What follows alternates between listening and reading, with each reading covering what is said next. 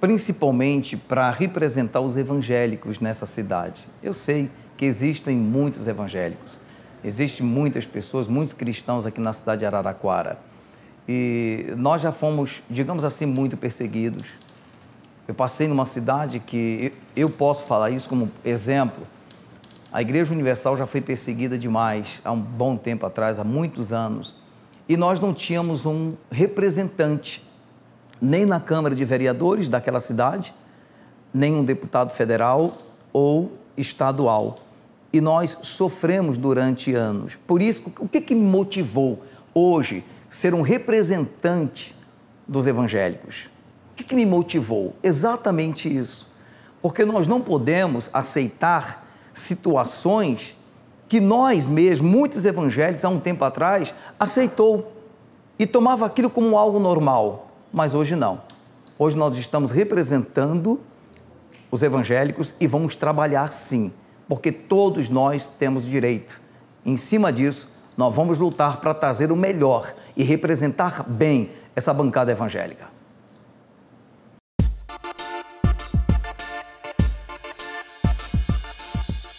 Durante esses 34 anos como pastor evangélico, eu já passei em vários lugares e vim para Araraquara, Fiz mais de 700 visitas. E nessas visitas eu acabei vendo a necessidade de cada pessoa. Eu conheço cada bairro, eu posso dizer que eu conheço cada bairro aqui da cidade de Araraquara, atendendo a necessidade da pessoa, mas também conhecendo a nossa cidade, vendo as suas fragilidades, vendo as suas necessidades. E agora, como vereador, sim, eu vou poder representar cada uma dessas pessoas aqui na Câmara Municipal de Araraquara, atendendo a necessidade delas, atendendo cada uma delas no nosso gabinete. Então, essa é a minha missão e eu vou levar em frente esse trabalho para ajudar a população araraquarense. Aliás, eu já posso me considerar um cidadão araraquarense.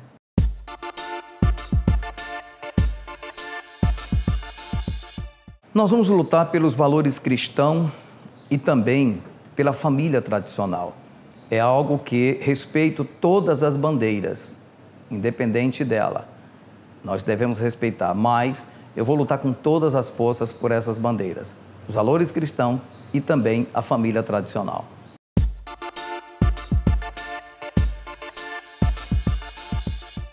Eu não vou citar nomes, mas eu me inspiro justamente naqueles que estão na política hoje e aqueles que também passaram por esse trabalho e não se corromperam. Nós sabemos que vivemos num país onde existe corrupção. Existe aqueles, sim, que se corrompem, mas também existe aqueles que até hoje estão firmes sem se corromper. Então a minha inspiração é justamente em cima dessas pessoas.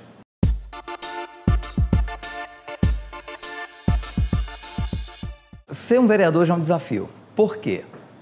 O vereador ele não pode fazer tudo, ele tem seus limites. A gente sabe muito bem disso.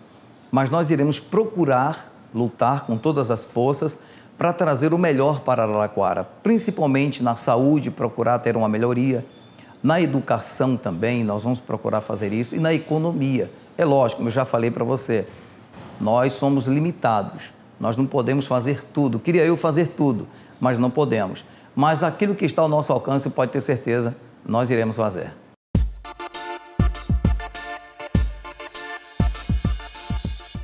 Dia 15 de novembro de 2020, nós tivemos a eleição.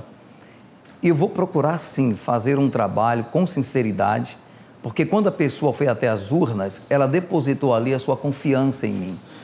E o nosso gabinete vai estar sempre aberto para a população de Araraquara.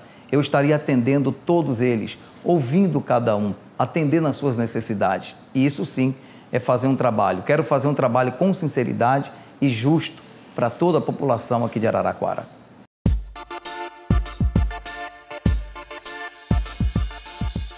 Durante esses quatro anos, é lógico nós vamos fiscalizar o executivo e trazer emendas junto aos nossos deputados, tanto federal como também estadual, e ver a necessidade de que cada pessoa tem na nossa cidade. Por exemplo, a zeladoria.